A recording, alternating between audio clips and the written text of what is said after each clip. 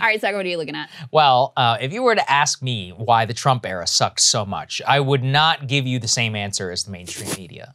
On a policy level, he did mostly bad stuff, and on a rhetorical level, occasionally he had something good to say. But the answer is that Trump actually banished any sense of meaning from our politics to the extent that even the tiniest little bit of it remained before he came on the stage. So look, say what you want, but there was an actual debate around Obamacare in this country. Healthcare or no, public option, private option. It was mostly dumb, and it obviously turned out terribly, but it was a debate nonetheless. With Trump, it didn't even have the veneer of the debate. The people who voted for him, when they're being entirely honest, will tell you they didn't really care what he actually did, and that the reason that they did is because he pissed the other side off immensely. And the people who voted against him, they did the same thing, except the converse. They voted for him or voted against him simply because he pissed them off, not for any substantive reason whatsoever. And that is why Trump's long and ugly shadow over our politics is so awful, and why, if he runs in 2024, it will be truly Clown Show 2.0. If you're a Republican, probably the last thing on earth that you should want is Trump to run again. How can I say that, you say? Presuming that you're a Republican that actually wants something to get done, consider Trump's latest statement, quote, if we don't solve the presidential election fraud of 2020, Republicans will not be voting in 2022 or 25. It's the single most important thing for Republicans to do, he says. Translation If you, as a Republican, are not willing to make Stop the Steal a central part of your campaign for office, then I will denounce you and I will tell my people to not vote.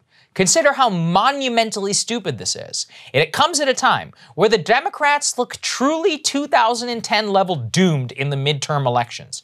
Biden is missing his action as approval rating hovers in the mid 30s. He has no enthusiastic base, an economy is going sideways, and his legislative agenda is basically dead.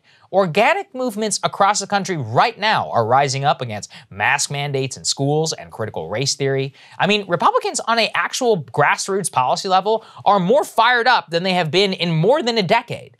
And yet Trump comes in and says, yeah, but if you don't validate my both idiotic and unpopular idea, then I'm going to tell my most committed supporters to not vote. Literally, only Trump could rescue defeat from the hands of victory after already running this stupid playbook in a place called Georgia during the special election. Or consider a potential Trump 2024 run. It really should not be that difficult. I mean, the man came 45,000 votes away from winning the presidency. And in 2020, Biden has been such a disaster, he could easily be beaten in 2024. Or let's say it's Kamala Harris. I mean, Trump would probably win like 500 electoral votes in that case. And yet, what are his people signaling will be his major agenda if elected? Not inflation, not supply chains, not healthcare, not really anything to do with your life whatsoever. What is it? Yeah, their signature issue should be oh, that's right, more stop the steal and election laws. Good luck! Having watched Trump monumentally screw up basically every single thing he ever tried to pass or sign into executive order, I can tell you that even if you did care a lot about this, he's probably the last person that you should try to get it done for you. But on a broader level, it again shows that with him at the hel- of the helm of the Republican Party, this is it. This is all there is. Nothing more. Just election fantasies to satisfy the egos of one man who, for a variety of reasons, has a massive sway over the Republican boomer mind. Now, you might think I've been hard on Republicans here in this monologue, but what about the Democrats, Saagar? Yeah, I mean, I've got bad news for you. It's just as bad over there, too. Consider the Virginia gubernatorial election that's happening right now. We talked a lot about it. Terry McAuliffe in the tight race with Glenn Youngkin. Well, we told you about how Terry McAuliffe is saying that Glenn Youngkin is a Trump style candidate, and it might sound dumb. Shouldn't he talk about policy? Well, yeah, it turns out people don't care about that at all. A recent survey of Democrats early voting in Fairfax, Virginia found that not one person who was voting for Terry McAuliffe gave a policy reason. to a T, they all said the same thing. They hated Trump. And since Trump was for Glenn Youngkin, they were against Glenn Youngkin. After all the hullabaloo about critical race theory in schools and vaccine mandates and more, it all comes down to Trump. You guessed it. What about Gavin Newsom? It really does defy logic that a man who let his state devolve into Mad Max level territory and openly defy his own rules would popularly be affirmed by the people of the state of California. How the hell does that happen? And you already know the answer.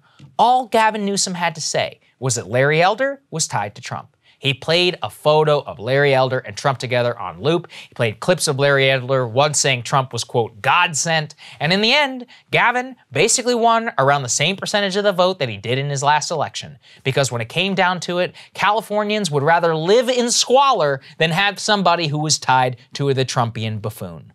This is the problem with Trump. He lets everybody off the hook. You could be a CEO. You go, Black Lives Matter. I'm against Trump. You could treat your workers like crap. You can ship jobs overseas. You can amass billions of dollars in wealth. Many people, about half the population, will not care because you said the most important part. You're against Trump. Or you can be a Republican who makes Stop the Steal the single most important part of your election campaign. And meanwhile, you can do the bidding of that CEO I just mentioned for campaign donations. And guess what? Nobody will punish you because you stood with Trump on the only issue that matters to him. If you care about issues in any way, Trump is probably the single worst thing that could happen to our politics. But here's the thing I'm not naive. I think we deserve exactly the problem set I'm laying out. We have allowed ourselves to become sclerotic, useless, lazy, and low IQ in our public discourse. And I cannot think of a better way to reward us for our sins than for Donald Trump to come back and do it all again.